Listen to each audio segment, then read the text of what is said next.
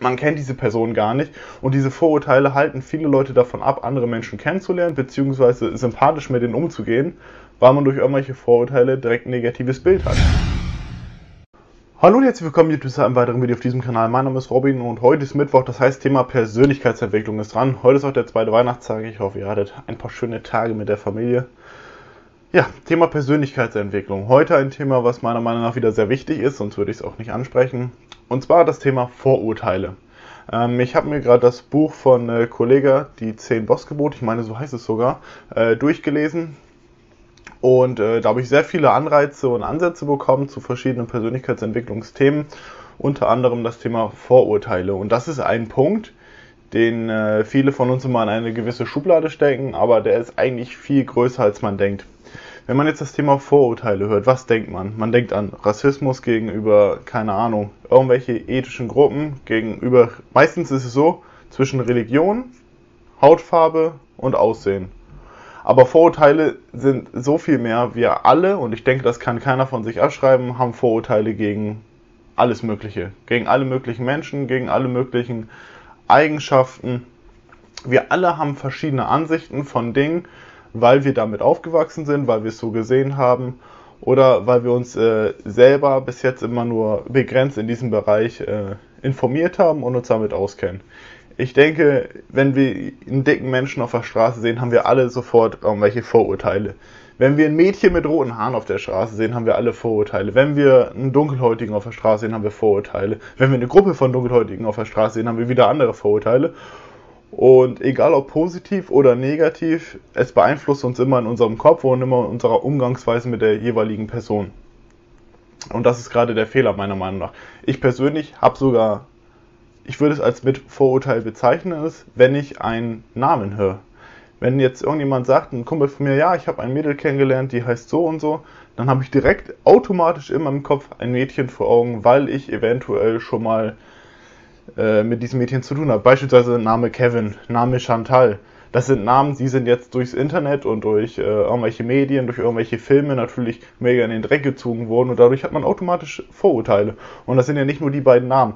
Ich denke, wir haben zu fast jedem Namen unsere Vorurteile bzw. unsere Gedankenströme, die da einfließen. Und meiner Meinung nach sollte man versuchen, auch wenn es extrem schwer ist, wie gesagt, ich habe Vorurteile wie jeder andere meiner Meinung nach, ähm, meiner Meinung nach sollte man genau da ansetzen und daran arbeiten, dass man diese Vorurteile womöglich aus dem Weg schafft, beziehungsweise sich erst einen Eindruck wirklich verschafft, bevor man darauf eingeht. Das heißt, wenn man jetzt eine Person neu kennenlernt oder das ist ein Freund von einem Freund, der den mitgebracht hat zu irgendeiner Veranstaltung, dass man ihn nicht direkt in eine Schublade steckt, nur weil er rote Haare hat oder weil er nichts sagt, weil er schüchtern ist man kennt diese Person gar nicht und diese Vorurteile halten viele Leute davon ab, andere Menschen kennenzulernen bzw. sympathisch mit denen umzugehen, weil man durch irgendwelche Vorurteile direkt ein negatives Bild hat. Äh, ganz besonders ist es auch bei tätowierten Leuten oder mit, bei Leuten mit äh, irgendwelchen Piercings oder so. Ganz viele Leute haben direkt eine negative Einstellung, ohne überhaupt den Hintergrund zu kennen.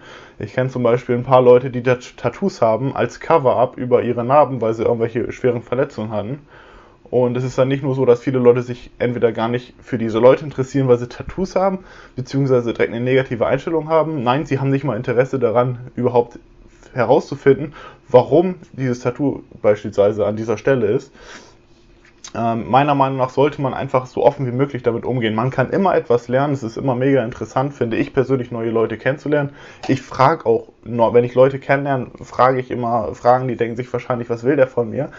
Ähm, weil ich so interessiert klinge, weil ich es einfach interessant finde. Man kann mega viel lernen, man lernt mega viel über den Menschen an sich, über diese Person, aber auch allgemein darüber, beispielsweise im Bereich Tattoos, Piercings, äh, was auch immer es gibt, wo viele Leute Vorurteile haben oder Leute, die sich die Haare färben, so. Ähm, Mädchen, die sich Extensions reinmachen. Und viele Leute denken dann immer direkt negativ oder Mädchen, die sich voll schminken. Aber manchmal hat das ganz andere Ursachen als die Ursachen, die wir uns einreden, beziehungsweise die wir so kennen. Und meiner Meinung nach sollte man einfach ein bisschen darauf achten, dass man Leute versucht kennenzulernen, beziehungsweise ähm, denen entgegenkommt, ohne Vorurteil, Vorurteile zu haben. Äh, bei mir beispielsweise ist es auch so, die Bauern haben Vorurteile den Ausländern gegenüber und andersrum genauso. Äh, viele Bauern sagen, dass, äh, oder viele Bauern meiner Meinung nach aus meinem Umfeld haben Angst vor Ausländern, beziehungsweise reden immer noch neg negativ über dieses Thema, weil die Leute einfach in ihren Gruppen bleiben, irgendwo auf dem Land und sich gar nicht mit dem anderen Thema befassen.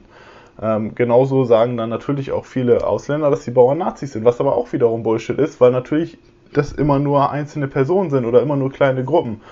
Und äh, wenn man das immer weiter hochpusht und das immer mehr äh, Menschen gibt, die sich auf die eine oder auf die andere Seite stellen, dann äh, ist das meiner Meinung nach eine mega negative Aura, weil man einfach sich auseinanderlebt. Und ich meine, wir sind ja alles Menschen und eine Hautfarbe oder eine Herkunft hat einfach null darüber auszusagen, wie wir sind, weil spätestens ab dem Erwachsenenalter entwickeln wir uns alle selber und wir sind alle für uns selber verantwortlich. Und ich bin der 200%igen Meinung, dass wie ich aufgewachsen bin, einen riesen Einfluss darauf hat, wie ich später drauf bin. Äh, aber ab 16, 18 entwickelt man sich auch selber. Und wenn das vernünftige Leute sind, dann werden die sich auch ihr eigenes Bild über die jeweiligen anderen Gruppen machen und sich dann dementsprechend weiterbilden und nicht einfach nur in dieser, in dieser Gruppe bleiben. Und ja, es gibt sehr viele Menschen, die einfach bei ihrer Ansicht bleiben, mit der sie aufgewachsen sind aber genau das ist ja das, was ich auf diesem Kanal ein bisschen entgegenwirken möchte, dass man sich mal ein bisschen einen allgemeineren Überblick verschafft und nicht immer nur diese, diesen ein eingetrichterten Weg geht, den man von seinen Familien oder von seinen Freunden damals äh, mitbekommen hat, sondern dass man sich und diese ganzen Situationen selber reflektiert, um sich darin weiterzubilden bzw. sich zu entwickeln. Das war's auch schon. Ich hoffe, ich konnte euch ein bisschen Anreiz geben. Wie gesagt, versucht mal bei Leuten, wenn ihr die neu kennenlernt, es ist wirklich interessant, Leute kennenzulernen. Es ist wirklich interessant, Leute näher kennenzulernen und äh, sie nicht aufgrund ihres Aussehens direkt äh, in eine Schublade zu stecken und beiseite zu schieben. Falls euch das Video gefallen hat, lasst eine Bewertung da. Ansonsten würde ich sagen, sehen wir uns im nächsten Video. Bis dahin, ciao Leute.